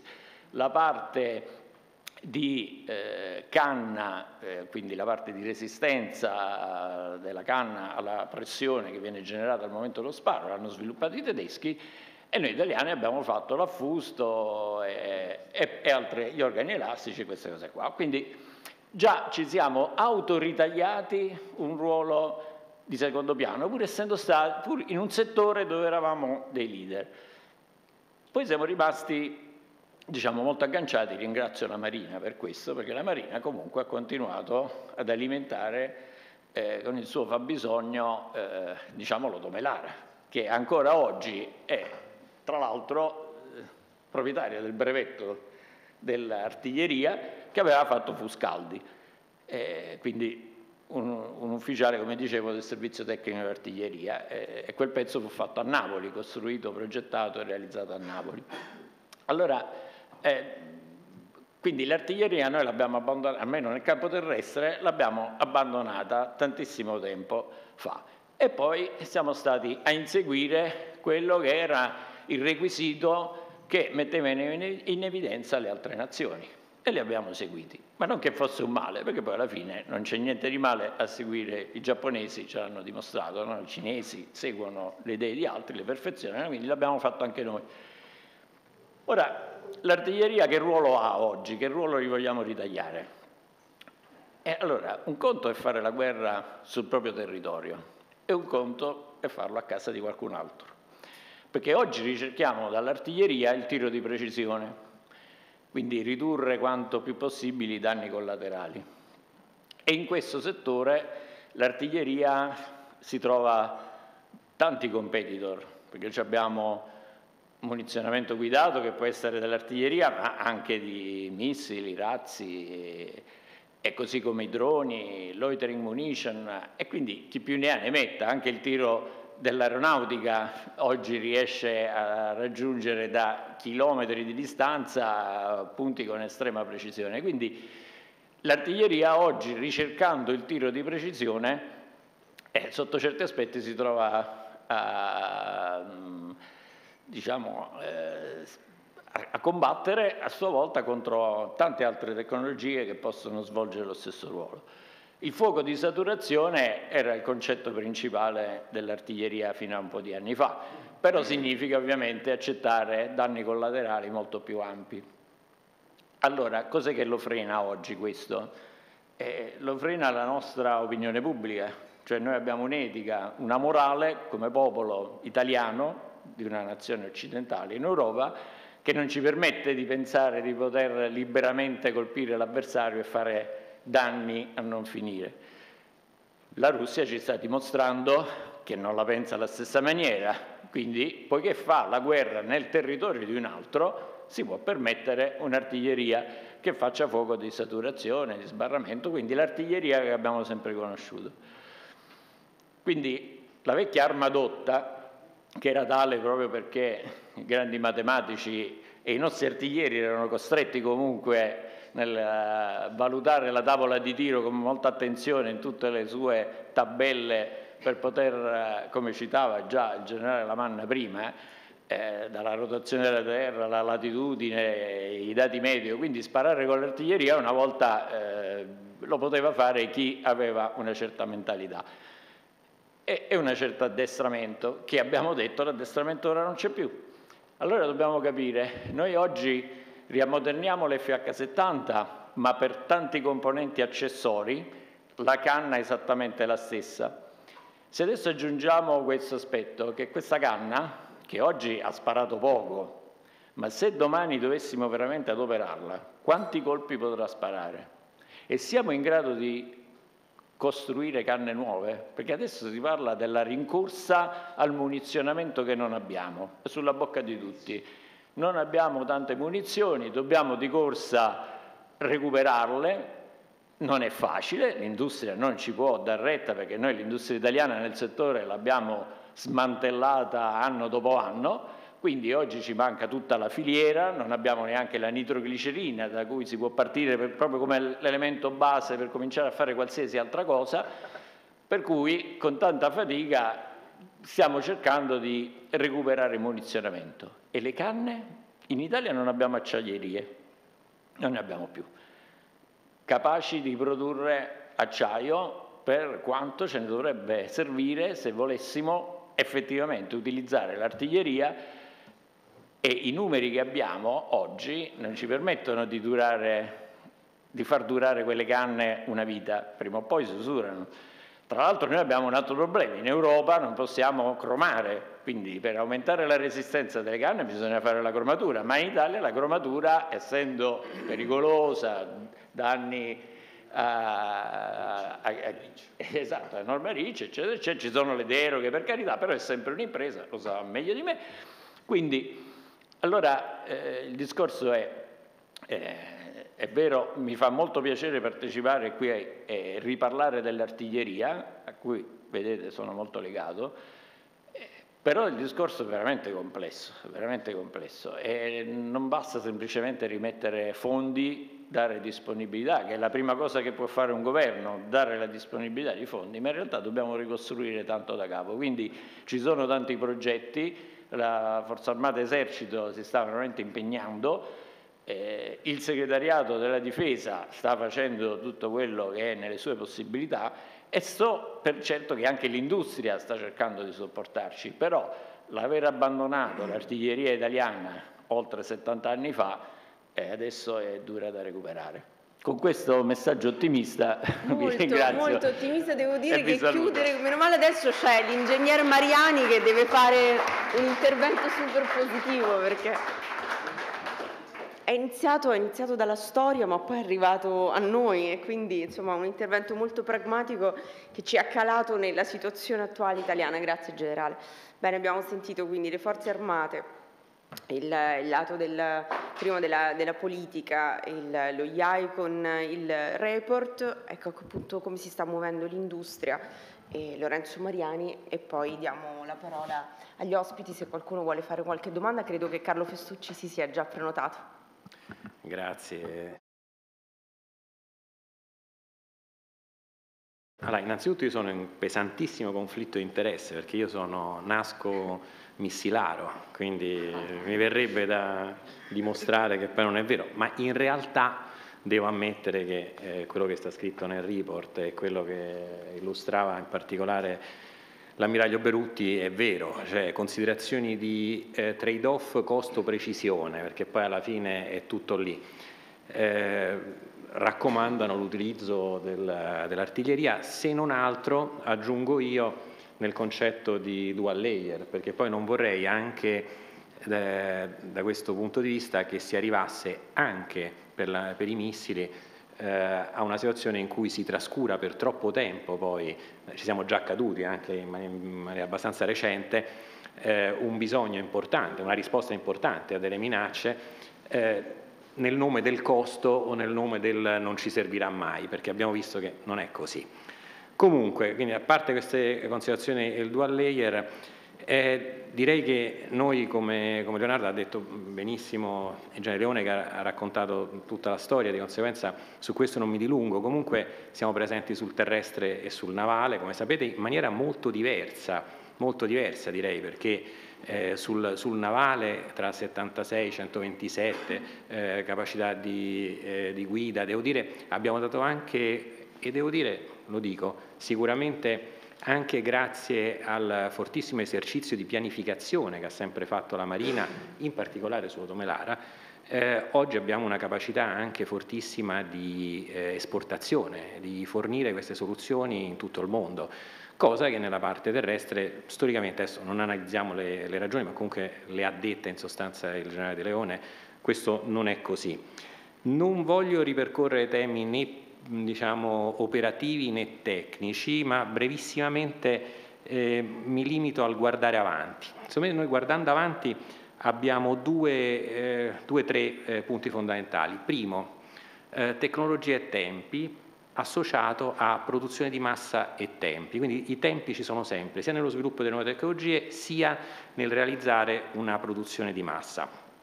Allora, requisiti secondo me tecnologia è più importante ancora. Eh, si è parlato di cyber, io condivido con Gianni Lamanna che sicuramente quando si parla di artiglieria si dimentica spesso che poi è un sistema complesso fatto di 5-6 blocchi, quindi anche la cyber è importante, ma prima della cyber io mi preoccuperei dello spettro elettromagnetico. Secondo me eh, uno degli insegnamenti dell'Ucraina è stato che tra GPS denied, electronic warfare e tutto quanto quello è la prima cosa che ti ferma e non quando mandi una munizione guidata, un missile e non probabilmente il puro esercizio eh, di cyber attack.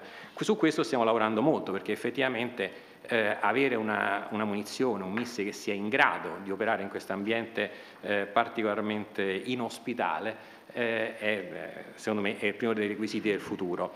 Eh, sicuramente bersagli diversi, quindi unmanned, eh, sciami di droni, eh, sicuramente incrementare ulteriormente la precisione, incrementare la capacità delle spolette 3AP e 4AP che abbiamo, quindi sono tutte, eh, tutti i lati che stiamo studiando, effettivamente time is of the essence, cioè lì bisogna arrivarci nei tempi che 3-4 eh, anni fa non erano nemmeno pensabili e oggi invece lo sono. Produzione, massa, produzione, eh, anche là ci siamo accorti che non eravamo più capaci di produrre e, eh, quantità e bisogna arrivarci. Allora, secondo me lì eh, esistono due punti e io là diciamo, eh, elaboro leggermente quello che ha detto Gianni Leone. Prima cosa, sicuramente eh, ci dobbiamo accorgere che abbiamo una supply chain che abbiamo abbandonato. La supply chain è abbandonata. L'acciaio è vero, l'acciaio non ce l'abbiamo, allora, le canne senza acciaio non si fanno eh, sicuramente gli esplosivi, ma ricordiamoci che in molti casi non abbiamo consentito a piccole e medie imprese anche elettroniche di fare i loro adeguamenti, di, fare, di eh, attrezzarsi con le loro linee, o abbiamo pensato che i componenti andassero bene sempre quando arrivavano da Taiwan, salvo poi pensare che non è sempre così corretto, o dall'America. Allora, questo secondo me è un vero blocker e non è un blocker che risolviamo in un anno, assolutamente, è vero quindi lì non è solo questione di tempo, è questione di volontà. Io lo farei eh, a prescindere perché secondo me eh, questa situazione che c'è oggi è una situazione che non ci abbandonerà in pochi mesi o in pochi anni. Ma ce n'è un'altra, io insisto che invece eh, il tema economico è un tema comunque fondamentale, perché per fare produzione di massa, per eh, riequipaggiare le grandi linee di produzione, sicuramente nella grande industria, ma soprattutto tutte le piccole e medie imprese, comunque un investimento importante serve e oggi questo è uno dei casi, io lo dico sempre a costo di sembrare un po' ridicolo, ma il 2% è l'elemento, il 2% del PIL come spesa di, eh, sulla difesa è una cosa ineludibile. È ineludibile. Adesso, eh, stamattina a un altro convegno facevamo i conti di quanto rappresenta, lo dico a tutti, oggi su una spesa per gli acquisti di, correggetemi se sbaglio, ma di poco, 8 miliardi e mezzo, 8, 9, così, stiamo parlando di ulteriori 10 che ce ne sarebbero, quindi stiamo parlando di un numero enorme in realtà. Eh, oserei dire che forse eh, è anche arduo pensare a come spenderli questi sull'industria nazionale, però meglio avere il problema di come spenderli che avere il problema di non sapere come attrezzare una linea di produzione. Quindi questo secondo me è un tema che rischia poi di rendere tutti questi discorsi che noi facciamo anche un po' velleitari, perché comunque sì, è vero, non bastano i soldi, ma senza i soldi non riusciremo a fare questo che noi stiamo dicendo di voler fare. Da ultimo, visto che oggi si parla molto di accordi di partnership, ehm, solo una precisazione. Gli accordi di partnership sono di diverso tipo ed è eh, sbagliato parlarne in maniera generica. Ci sono accordi di coproduzione e allora in questi casi bisogna preoccuparsi che eh, tutte e due le linee di produzione diciamo, dei due partner abbiano le stesse possibilità e torniamo al tema delle supply chain, perché se uno ha una linea di produzione a caso in Germania e uno in Italia, però la supply chain è tutta tedesca, è come non averla la linea di produzione. Ci sono eh, rapporti in cui semplicemente si produce su licenza, ma possono anche andare. Noi abbiamo dato il 76, non eh, l'ultimo ovviamente, eh, nei, nei, progetti guidati, ma l'abbiamo dati perché abbiamo moltissima eh, produzione export. E, ed è un prodotto di cui deteniamo la System Design Authority, perché secondo me la vera capacità poi dell'industria, che è anche legata alla sicurezza del Paese, è la System Design Authority del prodotto. Quindi così come l'abbiamo fatto noi, l'abbiamo a volte importato, il PZH, voglio dire, il PZH c'è una produzione su licenza abbiamo fatto e nessuno se ne ha avuto a male, però bisogna avere chiaro qual è la componente che dà veramente la garanzia di eh, sovranità tecnologica eh, all'industria e quindi anche al Paese. Detto tutto questo, eh, io la vedo un pochettino, eh, sin troppo facile dirlo, a luci e ombre. Sicuramente la presa di coscienza e la discussione è importante. I due temi, i due temi veramente che mi preoccupano sono quello dei finanziamenti e quello di come poi questi finanziamenti si calano, in particolare sulla piccola e media impresa, specialistica di settore materiali. Grazie.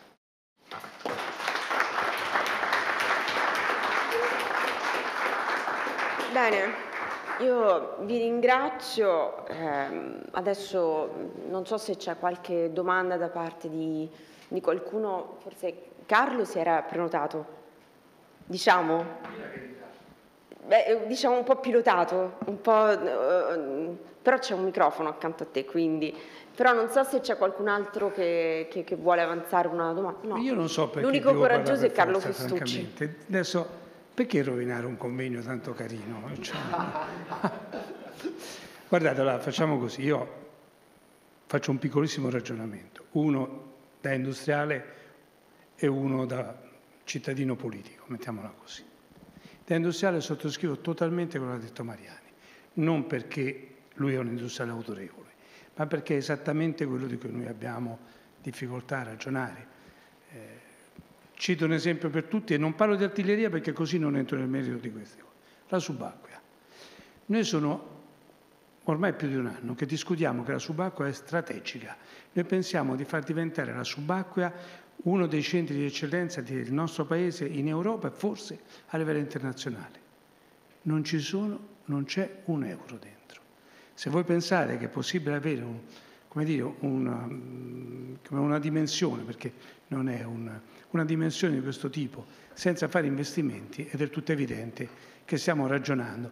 La cosa che mi viene in mente è che se noi ragioniamo, dovessimo vincere le guerre con le chiacchiere, le avremmo vinte tutte, tutte. Quelle passate vinceremo anche quelle future.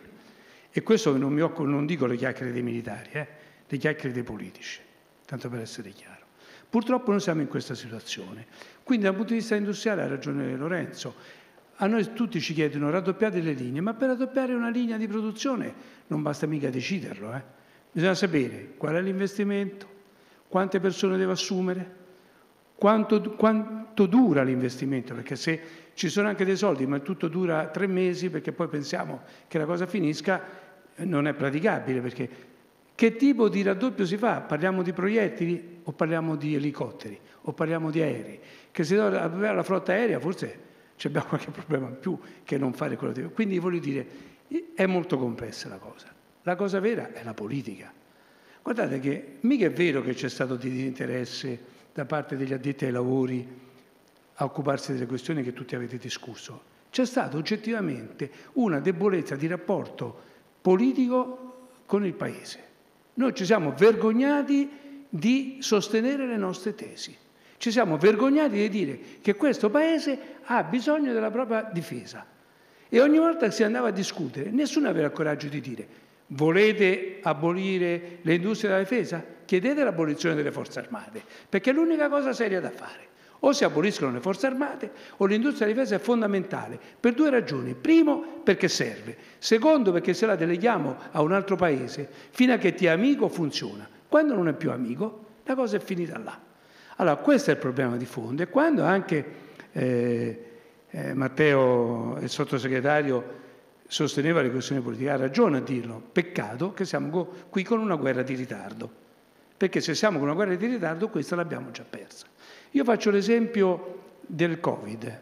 Noi col Covid ci siamo trovati a non avere né un piano per affrontare il problema, né le mascherine, tutti quelli che erano i dispositivi. Ci sono due ragioni per pensare perché non le avevamo.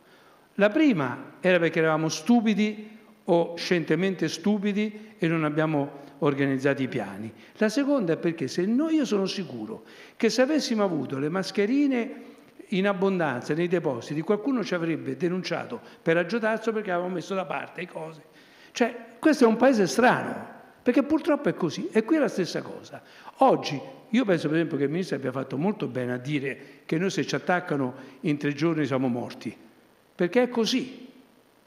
Io ragionavo comandante, con l'ammiraglio Berutti Bergotto e con l'ammiraglio Credendino, mi ricordo di una discussione che facevamo qualche tempo fa, si dice, ma noi se ci attaccano pariamo un po' di colpe e poi finisce là. Eh.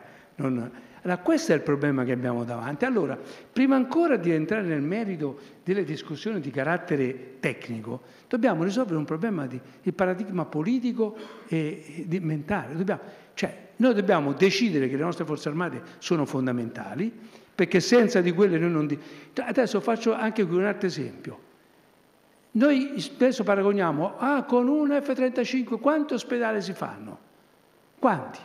Oggi se noi fossimo attaccati non discuteremmo di quanti ospedali si fanno, quanti ne sono distrutti gli ospedali e non sapremmo dove mandare i malati.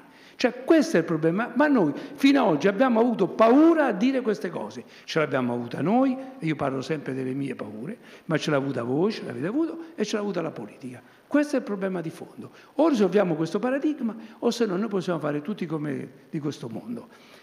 Facciamo quello del, sull'artiglieria, diremo che serve, che però non abbiamo i colpi. Faremo quelli dell'aeronautica e qualche anno fa avevamo scoperto che se non partivamo il 31 dicembre sul cammiere non avevamo neanche la difesa aerea. Se lo facciamo sulla marina scopriamo che non ci sono munizioni abbastanza o abbiamo i motori delle navi che non riescono ad essere riparati perché mancano le, eh, dire, i materiali. Questa cosa non si risolve tecnicamente, si risolve con investimenti e con scelte politiche precise. Questo è il problema di fondo. Capisco che hai rovinato il convegno, però... No, non ha, non ha distrutto solo il tema dell'artiglieria, anche l'underwater è andato di E io rinforzo ulteriormente quello che dice Carlo, così siamo venuti insieme a fare i disturbatori, io da, io da cavallo di Troia. Allora, faccio tre esempi di cose che secondo me, eh, perché sono tre esempi da pendare. Ma non è vero, ci eravamo parlati prima. Dai. Allora, uno, ma eh, quanto i fondi MIMIT esistono perché veramente servono per sviluppare l'industria e quanto servono perché 15 anni fa non si poteva dire che c'erano più soldi per le forze armate? Io la risposta ce l'ho perché lo so, perché mi ricordo come sono nati, però siamo sicuri. Secondo, c'era bisogno della guerra d'Ucraina per capire che servivano i, diciamo, i depositi un po' più pieni di munizioni e di missili e qui faccio polemica, ma se veramente bastavano quelle quantità che avevamo eh, in, in, stock, ma valeva la pena spendere quello che abbiamo speso per sviluppare una STER, seppure in due nazioni o tre nazioni? Vogliamo fare i conti di quanto costa una STER eh, a quanto l'abbiamo comprati noi? Se ci metti dentro tutti i non ricorrenti, vabbè che pure qualche aereo ci avrei da dire, però. Terzo, se mettiamo in fila e vado sulla burocrazia, perché poi è inutile che parliamo se poi urgenza, urgenza un cavolo, eh, se noi mettiamo su un diagramma, l'abbiamo fatto questo esercizio, tutto quello che c'è da fare per, eh, diciamo, da quando uno di voi si alza e dice io sono un'esigenza, a quando si firma il contratto, si firma il contratto che poi non è la prima consegna, si firma il contratto, non riusciamo a metterlo in una 4, l'abbiamo messo in una 3, in una 3 diciamo più o meno si capisce, e l'UGPPB ci dice giustamente che servono tre anni, non c'è verso. Oggi perché c'è il ministro che c'è ci mettiamo tre anni, ma se no ce ne metti sei. Allora, queste sono tutte cose di un paese che eh, giustamente ha scelto eh, n anni fa che non si deve parlare di guerra, salvo che poi magari la guerra ti stacca l'energia, non ti fa arrivare il grano al doppio del prezzo, non ti fa arrivare l'energia eh, e allora però ci incazziamo. Scusate. Questo per chiudere, eh, forse vuole aggiungere sì. qualcosa il Chiaro, non, è che, non è che siamo eh, in ritardo per cui eh, non dobbiamo guardare a queste problematiche, eh, pure in ritardo dobbiamo innanzitutto diciamo, renderci conto che questo ritardo va in qualche modo affrontato e colmato. Ma forse una parte che manca qua dentro è diciamo, una parte molto importante ed è appunto la parte accademica che insieme all'industria, insieme all'esercito, forse dovrebbe costituire quel triangolo magico per cominciare a lavorare seriamente. Perché i siacci e i cavalli, va bene, i bianchi, eh, giusto per citare qualche nome, e Burzio e così via, i, i vari eh, Piccone e così via, maestri di balistica, eh, non è che nascono perché so, nel DNA abbiamo, come dire, il, siamo il paese dei geni. Noi abbiamo bisogno che presso le università si ricominci a studiare materie come balistica. Ditemi un, una università dove si studia balistica. Eppure balistica è la sintesi eccezionale, va bene, di quello che è il concetto disciplina STEM di cui stiamo parlando, anche grazie al sottosegretario Rauti. La balistica, non lo devo dire io a voi, lo insegnate, riguarda chimica, scienze, riguarda eh, meccanica, meccanica applicata, riguarda fisica. Ma oggi andiamo a vedere anche i nostri programmi di balistica, sono ridotti all'essenziale. Poca matematica, poche formule. Forse perché i calcolatori ci sostituiscono in tutto. Non abbiamo più manco diciamo, messo in, in, dire, su un foglio di Excel la formula bene, eh, di, di, di, calcolo no? eh, del metodo Runge-Kut o altri metodi per sviluppare la traiettoria, anche solo farlo in modo, va bene, a, eserci- a mo' di esercizio. Quindi abbiamo veramente perso, secondo me, tanto tempo a guardare ad altre discipline. E secondo me dovremmo partire di nuovo, e in accademia e nella scuola di applicazione stiamo ripartendo proprio da questi fondamentali. Concludo dicendo che tre anni fa, eravamo in questo periodo, a Tor di Quinto, la Marina ha organizzato un bellissimo seminario sui tre domini, ma in particolare mi rimase impresso l'intervento di una professoressa della Sapienza che disse, nel parlare del problema dei missili ipersonici, disse guardate, forse faremo bene a riconsiderare e a, e a, e a metterci intorno al tavolo eh, lo studio di questi materiali, dei materiali che servono per costruire un missile ipersonico, i sistemi di navigazione, i sistemi radar che dovrebbero intercettare questi missili e così via. Ma dovremmo metterci soprattutto a praticare di nuovo questa sperimentazione nelle gallerie del vento, perché a certe velocità il comportamento dei materiali è completamente diverso e le risposte sono completamente diverse. Quindi io ricordo che la professoressa l'ho contattata subito dopo, sono convinto che a distanza di tre anni non ha visto ancora nessun progetto va bene, intorno a questo va bene, tavolo della costituzione di una galleria del vento eh, dove poter cominciare a studiare i problemi, va bene, a queste altissime velocità. Con questo diciamo, volevo dire... Grazie generale, grazie. grazie mille. Un commento forse anche dell'ammiraglio sì. Berutti Bergotto e poi possiamo chiudere. Io volevo dire una cosa, hai ragione, Lorenzo, hai ragione. E, però noi come Marina Militare abbiamo visto sempre l'artiglieria come parte dell'unico nostro sistema d'arma, la nave. Quindi in tutto il tempo abbiamo sempre sviluppato insieme all'industria, cioè il fatto che noi dal punto di vista dell'artiglieria siamo, io oserei dire, i primi in tutte le marine, sia nell'utilizzo e sia sui sistemi, è perché noi abbiamo sempre lavorato con voi nello sviluppo dei sistemi e nel, nelle prove, perché poi la, la galleria eh, al Balipedio è, è, è un, un, ente marina, un ente tecnico marina di Mariper, CSSN, e, e, ci ha sempre permesso di migliorare sia dal punto di vista balistico ma sia su, soprattutto dal punto di vista integrazione col sistema di combattimento. Quindi io oggi dico la Marina Militare Italiana dal punto di vista artiglieria è la Marina. Noi siamo una Marina di riferimento, non dico con le marine del nostro livello, ma anche gli Stati Uniti ci guardano come riferimento per l'utilizzo dell'artiglieria. Per i missili è, è un altro discorso. Basta. Ma questo grazie a, al rapporto che c'è stato con la nostra ditta, con la nostra azienda di riferimento che ci ha permesso, ci ha permesso di progredire insieme e, e, credo che sia soltanto una cosa particolare della Marina. Ma certo, pianificazione Prego. E potete quello, passare il microfono gentilmente al generale.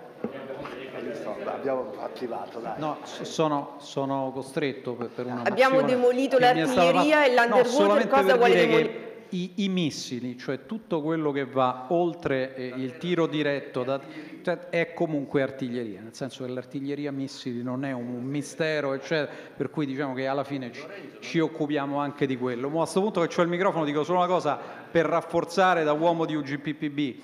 Io lo dico sempre quando in tutte le fotografie di quelli che mi hanno preceduto dico ma pensate che io sono più bravo di loro, sarò tipo loro, per cui se ce la mettiamo tutta facciamo tipo quello che hanno fatto loro. Allora, dal punto di vista di quelle che sono le regolamentazioni in vigore, le procedure, le regole, tutto possiamo diventare anche Jacobs, però tanto più di quello non riusciamo a fare. È questo il momento di una variazione totale, anche dalla qualificazione della spesa, perché noi parlavamo prima e parliamo dell'investimento, ma tutta quella roba tipo l'addestramento e tutto, poi se abbiamo anche 40 miliardi di investimento poi non riusciamo a farlo valere, cioè dobbiamo rivederla completamente perché diventa tutto uno, la patrimonializzazione esiste solo se funziona e si muove, altrimenti non c'è e poi rivoluzionare il modo di fare le cose perché o si è flessibili oppure non si è all'altezza delle sfide che ci sono. Grazie, se passa il microfono al generale Candotti vuole aggiungere anche lui una cosa. Non voglio entrare in polemica con l'ammiraglio Agostini, perché abbiamo fatto tanti anni assieme allo Stato Maggiore della Difesa e siamo stati diversamente traumatizzati e quindi abbiamo ancora delle strascichi psicologici che delle volte non rendono il ragionamento logico e coerente.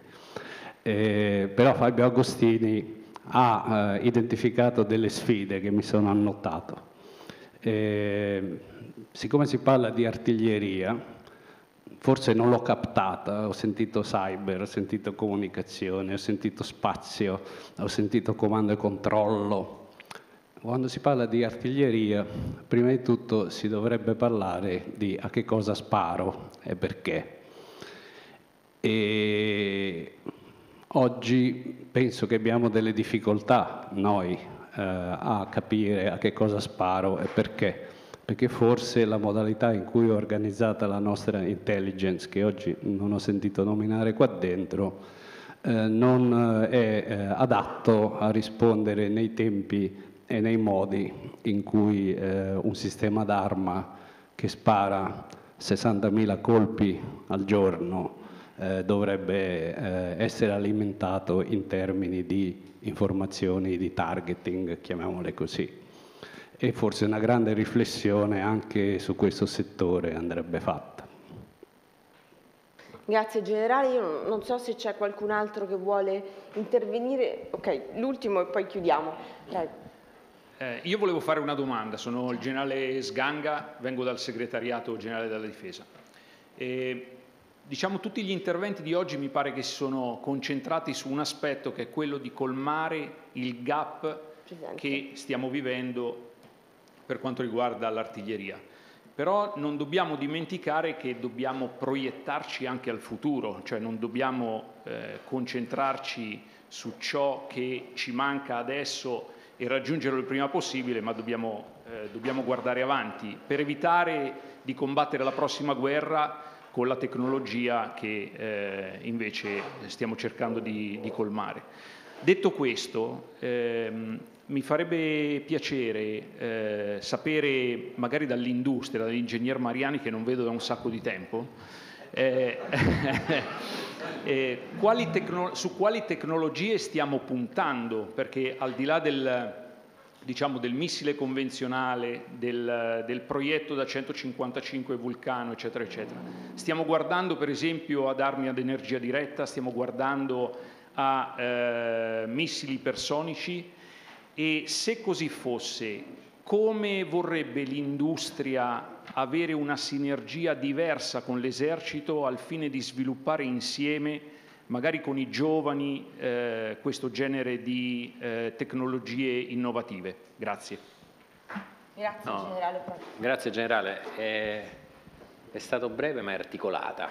Allora, sicuramente le due eh, diciamo, famiglie eh, che, che, ha toccato, che, ha toccato, sono assolutamente allo studio, quindi Direct Energy Weapon sicuramente sì, eh, oserei dire che è un tema, no oserei dire, lo dico, eh, non solo di esercito, ma eh, sicuramente in ambito GCAP eh, è una delle tecnologie che sono sul tavolo, in ambito marina addirittura sono, sono usciti per DDX nel requisito, e stiamo facendo delle sperimentazioni insieme a MBDA tra l'altro, quindi è un buon esempio anche di lavoro insieme a MBDA, eh, sperimentazioni che stiamo conducendo essenzialmente a Pomezia, eh, proprio per valutare diciamo così, sia il sistema di collimazione che che è più semplice poi alla fine come problematica, che invece il sistema di potenza, che è dove casca l'asino, perché poi anche là